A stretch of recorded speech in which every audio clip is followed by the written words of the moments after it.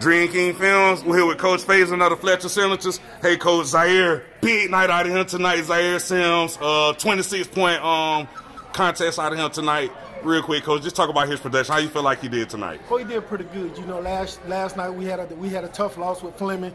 He still came out with 20 last night, but tonight I told him, man, y'all got to get a win. You can't start off you can't start off 0 2 for the season. You got to go hard, man, and, and, and do whatever you can do to help your team. And he came out scoring. Uh, he kept the team in the game early, especially when everybody was in foul trouble, and he kept the team on his back, getting 20 in the first half, and then that opened up the court for everybody else.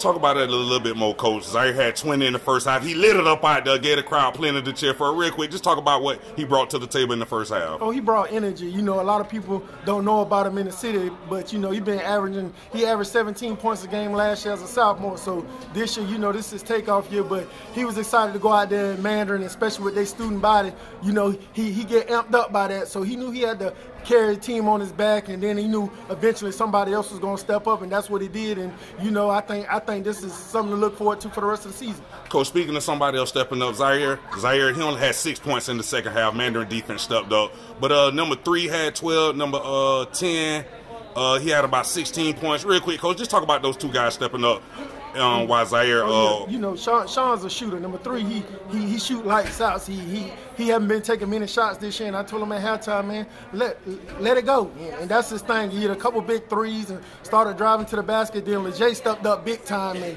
he he was just balling, rebounding, and and, and going to the hole. And when he did that attempt at dunking, and it came off the rim, that just got the whole team excited. You know, uh, that's the best game Leger played. He a young kid, a sophomore. He played varsity some last year, but this year, you know, he's primed for a big season. I think the way Zyhir shoot, he's to open up the lane for a lot of a lot of players and a lot of his teammates. Coach, before we get out of here, going back to Zyhir, like I say, he had 26 points on the night. Real special kid. For anybody that hadn't seen him play yet, Coach, for any college scout that may be listening to this interview, Coach, how special is this kid? And just talk about what what do he bring to the table. Oh, he's special. You know, uh, we went to a couple colleges and they say, you know, just a mid-range game is so different from what high school kids do these days. He got a mid-range game, and that's taking him a long way. And he can shoot the deep ball. And the kids are working. You know, we we go to the gym on the weekend, two-hour days, three-hour days, and we just put some one-on-one time in. And we just he's just a worker. He don't never like to lead a gym. He shoot he shoot at home. You know, that's my son. So anytime we at home, he's shooting off the backboard. We have to tell him to,